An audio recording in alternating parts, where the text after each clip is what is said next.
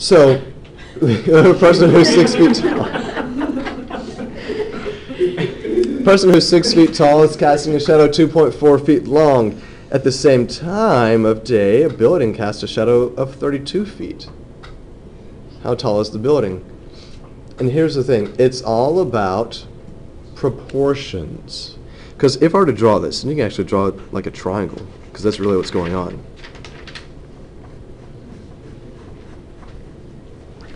So suppose we have something like this, and this is probably going to be very far from accurate, but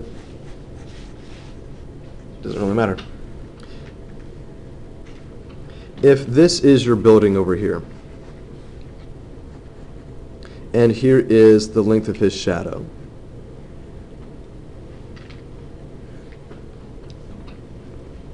Are you with me on that picture? Oh, I'm sorry, here, let me do this. Here's the doors, and course, all the windows have to look like that, right? Maybe he's got a little chimney up here, because after all, that's what all buildings have. So anyway, there's your building. Now, with a triangle, no matter where you are, if you draw something like this, it's going to be proportional. We talked about, if you remember geometry, hopefully you remember similar triangles. That means that the height to the length is going to be in proportion to the height to the length. So we could do this. We can say the height of the object to the length of the shadow.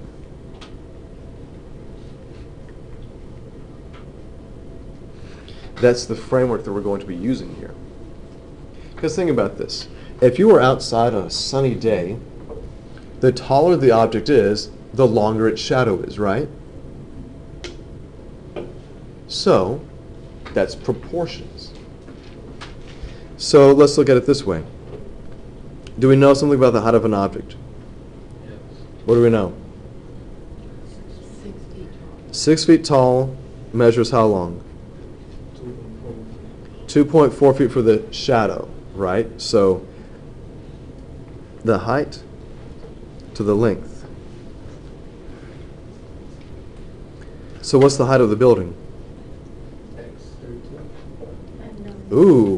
We don't. Is it X or is it 32? Oh, sorry, guys. It's unknown because it says, how tall is the building? I don't know how tall it is, but I do know that the length of the shadow is what? I do know that that's 32.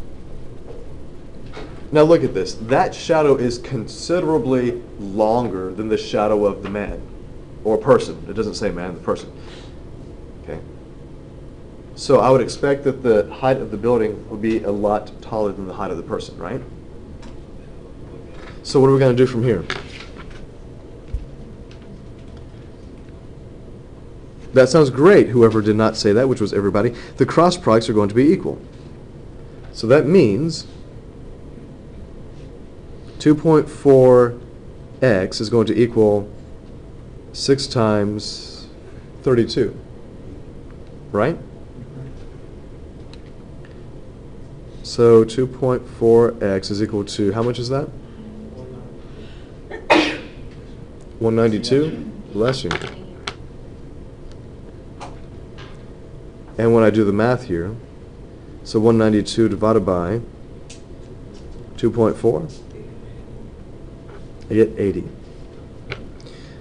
So show the work, we divide by 2.4. X is equal to 80. Now does that make sense with what we were talking about before? We said the height of the, the height of the building should be a lot taller than the height of the person, right? So we're saying that here is, here's Stick Boy right here. He's six feet tall. We're saying the building is 80 feet tall. Of course, my diagram is so off, it's not even funny. Okay, you know what? Fine, fine. Disclaimer.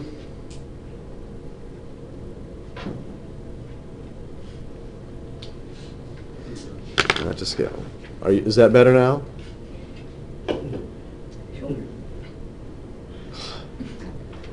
So how tall is the building? The building is what?